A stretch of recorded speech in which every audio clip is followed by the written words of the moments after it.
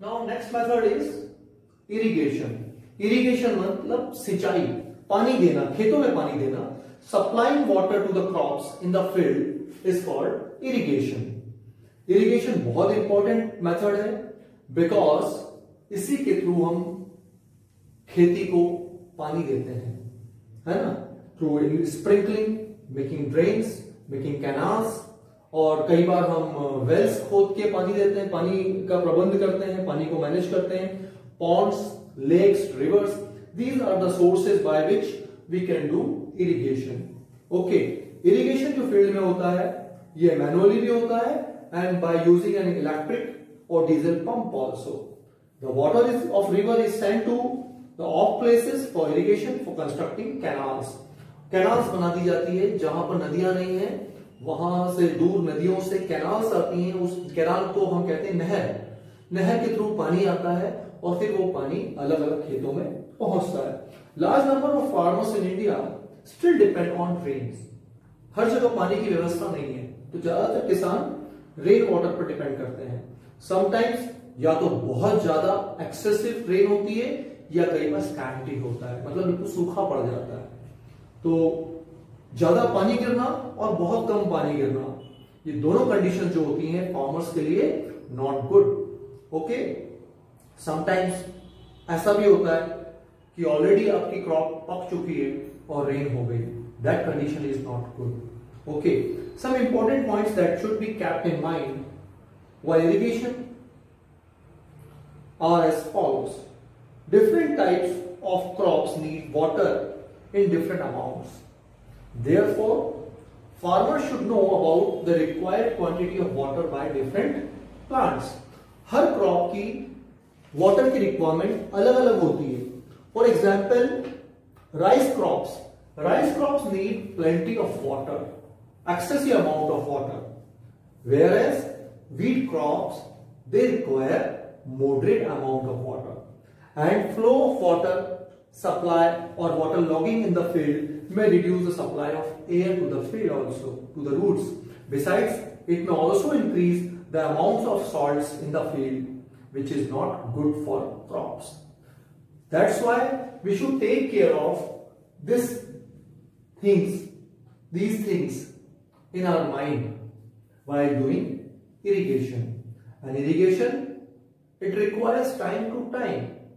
As I have told you earlier, जैसा कि मैंने आपको पहले बताया है कि अलग अलग फ़सल को अलग अलग अमाउंट का वाटर चाहिए एट द सेम टाइम जब हम क्रॉप प्रोडक्शन कर रहे हैं तो अलग अलग स्टेजेस में अलग अलग टाइम पर, जब पौधे कितने बड़े हैं, फ़सल पक गई है कि नहीं, उस समय भी अलग अलग टाइम पर पानी की ज़रूरत पड़ती है। अगर आप अपने आसपास के गाँव में, अपने आसपास खेतों में देखेंगे तो आप पाएँगे कि किसानों ने कब पानी छिड़का है। कब पानी दिया है खेतों को और कब पानी की ज़रूरत नहीं पड़ती है खेतों में? Okay so irrigation should be done very in a very intelligent way और next method of crop production is weeding before weeding we have learn about preparation of soil selection of seeds sowing of seeds manuring and irrigation now we come to weeding what is weeding but before weeding we should learn about what are weeds? Weeds kya hai the unwanted or undesirable plants grown in the field are called weeds. अनचाहे, बेकार से, जिसकी ज़रूरत नहीं है, वो पौधे जब खेतों में उग जाते हैं, उन्हें हम बीट्स कहते हैं। For example you have seen गाजर घास, खरपतवार इन योर फील्ड्स और in your nearby areas that खरपतवार और गाजर घास is that weed kind of weed ऐसे अनवांटेड प्लांट्स को वीड कहते हैं एंड वीड को हम हिंदी में खरपतवार भी बोलते हैं ध्यान रखेंगे।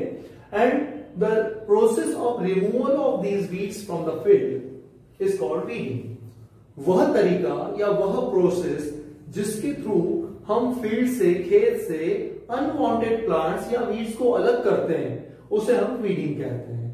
ओके okay, तो removal of weeds is called weeding अब ये वीडिंग करना क्यों ज़रूरी है? यस yes, जैसा कि मैंने कहा कि अनवांटेड या अनडिजायरेबल प्लांट्स आपके खेतों में उग गए। अब वो प्लांट्स क्या करेंगे? वे प्लांट्स जो आपकी क्रॉप है उसके साथ कॉम्पीट करेंगे क्योंकि वो खेतों में उग गए हैं। दे ऑल्सो नीड न्यूट्रिशन वो आपकी क्रॉप का न्यूट्रिएंट्स आपके वाटर आपके मिनरल्स सनलाइट वो स्पेस वो एयर उन सबके लिए कॉम्पीट करते हुए जो ज़रूरी पौधे हैं, हमारी क्रॉप है, उसका खाना, उसकी चीज़ें, ये वीड्स ले लेंगे। इससे क्या होगा बताइए? यस इससे हमारी क्रॉप पे असर होगा। या तो क्रॉप ठीक से नहीं उग पाएगी, या उगेगी तो उतनी अच्छी क्वालिटी की नहीं रहेगी। क्योंकि मैक्सिमम जगह जो है, इन बीट्स ने घेर ली है। Okay so for that purpose we need to remove these weeds so we need weeding अब रिमूवल कैसे करते हैं इसका? रिमूवल कई बार किसान अपने हाथों से करते हैं। The best time for removal of weed is when the weeds are about to grow flowers और सीड्स जब वीड्स में फ्लावर्स या सीड्स आने वाले हों, उसके पहले ही वीडिंग कर देनी चाहिए। उनको खेत से निकाल के बाहर कर देना चाहिए।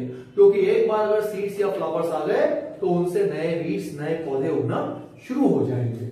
ओके हाथ से करते हैं। कई बार इसके लिए हम सीड ड्रिल यूज़ करते हैं टू अप्रूव वीड्स एंड कई बार खुरपी। खुरपी आपने सुना होगा। दैट औज़ार is use that implement is use for weeding while we are doing weeding by hands and weeds are also controlled by using certain chemicals कुछ केमिकल्स यूज़ करते हैं, जिन्हें हम वीडीसाइड्स कहते हैं। टू डी फोर डी ये ऐसे chemicals हैं, जिसको हम यूज़ करते हैं। इसको हम वाटर में डाइल्यूट करते हैं, और उसके साथ इसको हम स्प्रे कर देते हैं स्प्रेयर स्प्रे होता है पंप से। उस पूरे खेतों में उससे स्प्रे हो जाता है। Okay weeding is done by two ways दो तरीके से वीडिंग होती है। जनरली मैनुअली होती है। In this method farmers pull the weeds out of by hand और बाय ट्रॉवल और by harrow to uproot them हाथों से या ट्रॉवल से किया जाता है इसको। Second another method is weeding is also done by herbicides or weedicides. Herbicides and weedicides, these chemicals are spread on unwanted plants unwanted plants, that is weeds. उस पर ये स्प्रे किया जाता है। बट इन वीडिसाइड्स की खासियत ये होती है कि ये क्रॉप को नुकसान नहीं पहुंचाते।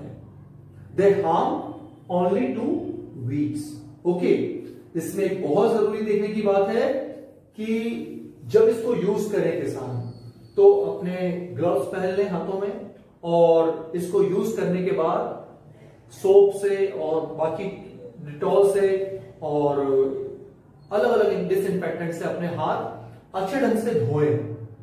Because these weedicides are poisonous chemicals ये आपकी आँखों में हार्म पहुँचा सकते हैं और दूसरा, हाथों से अगर आपके मुँह में चले गए, आपके स्किन पे चले गए तो उसको भी नुकसान पहुँचा सकते हैं। तो while doing weeding farmer should be very careful okay?